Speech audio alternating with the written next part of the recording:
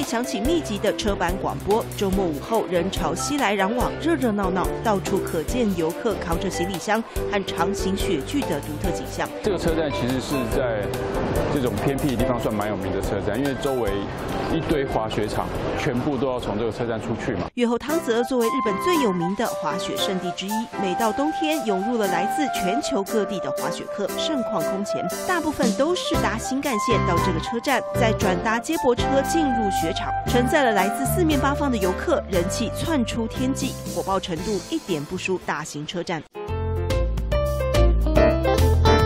新系要要买的伴手礼的第一名。滑雪达人周天明每次来滑雪都会顺便逛逛，站内卖场摆满了各式各样的在地特产。新系好山好水，出产一流的月光米，制成香脆可口的米果，加上雪山上融化的优质雪水酿出来的清酒，在日本清酒市场上占有重要地位。连店内销售第一的巧克力布朗尼也有浓浓酒香。不同种类品牌的清酒摆满了整个柜台，相当壮观，简直让人无从选择。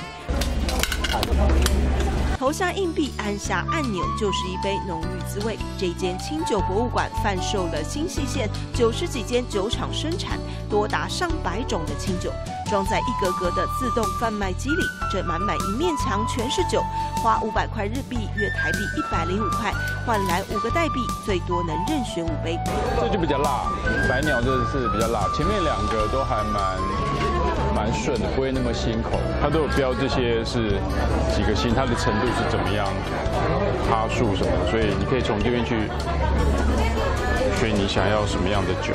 小小一间店，酒香四溢，人手一杯，气氛嗨翻。不少人滑完雪，特地来品尝好酒，相当享受。スキーをした帰りに寄りました。新潟のお酒美味しいです。 10種類ぐらい。それ買いますか買います。東京じゃ買えないので、気に入ったのを探せるので、ちょっとずつ飲む、いろんな種類飲めるから、めちゃくちゃ安い。墙上列出了最受欢迎的前十名，供民众参考。如果想温酒， 可以用勺子将酒杯放入热水里浸泡，马上热乎乎。架上还有几十种不同口味的盐，可去除口中味道，引出酒的甘甜香气。买根清脆的冰镇小黄瓜，沾点味增，作为开胃下酒菜。车站内还有一间加了日本酒的温泉，可以泡汤，也可以买酒回去加热水自制酒温泉。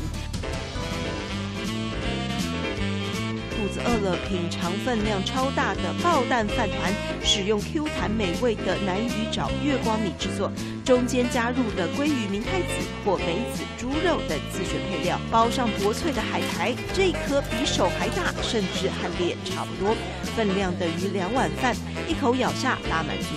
去年来てお米が美味しいのでこの辺 で今日はスキーに帰りにここに来てこれを食べようってわざわざここまで美味しい。僕に全然帰りますめっちゃ半分に割れたじゃんあ綺麗な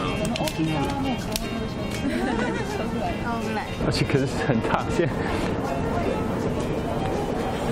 滑雪前吃一个这个应该热量还蛮够的。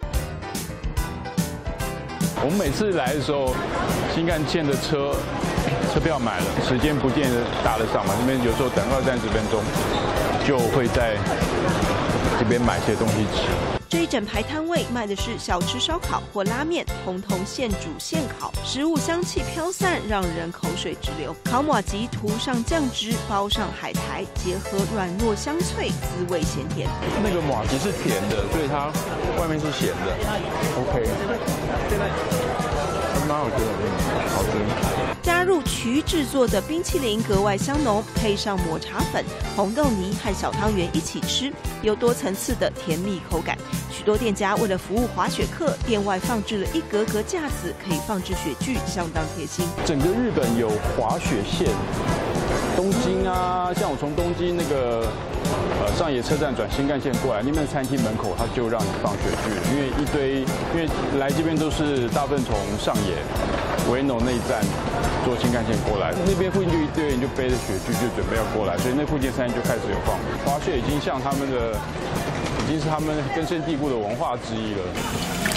酒足饭饱，出了车站前方就有一个免费的公共足汤，热乎乎的泉水在寒冬里冒着烟，碱性泉水能美容肌肤、疏解疲劳。舒服，舒服，对不会温温的，它温度是蛮刚好的。気持ちいいですね。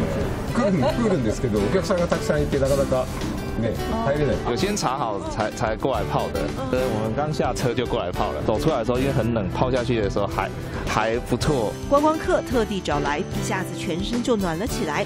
坐着聊天看风景，在热闹的街道上有片刻平静。一趟车站之旅，品尝所有在地好滋味，乐趣无穷。